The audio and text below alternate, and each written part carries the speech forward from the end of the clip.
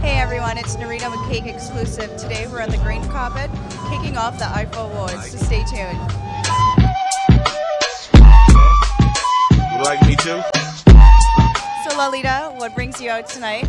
Well, I am totally into this Bollywood scene. I've been stalking the Royal York Hotel, trying to go to all the different places. It might be Eaton Centre, wherever.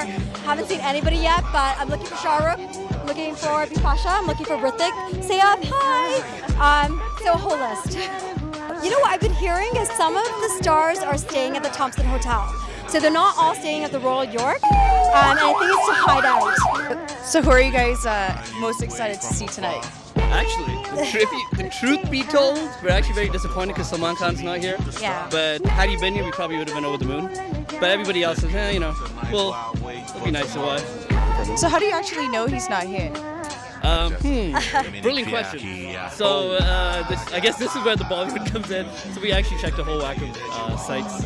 Twitter. actually- Twitter. Yeah, she actually twittered. I twittered him. So- I joined the group, and he didn't respond. But it's um, all good. She started following him, so it was all good. yeah, We know, don't worry, you're not the only ones. We met a few people kind of in the same boat as you guys. Um, she actually went to the Royal York in, in downtown area, so try to downplay a lot of things just so that we don't look as you know uh, crazy.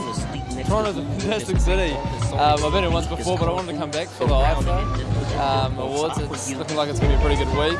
Lots of events happening, and the city's pumped up for it, so I'm quite excited. I follow a bit of Bollywood, so uh, if you can meet Shah Rukh Khan or something like that, would be great. so what brings you out tonight? Oh, filmy, the magic of Bollywood, all of that. And who are you hoping to see tonight? Shah Rukh Khan, I adore him.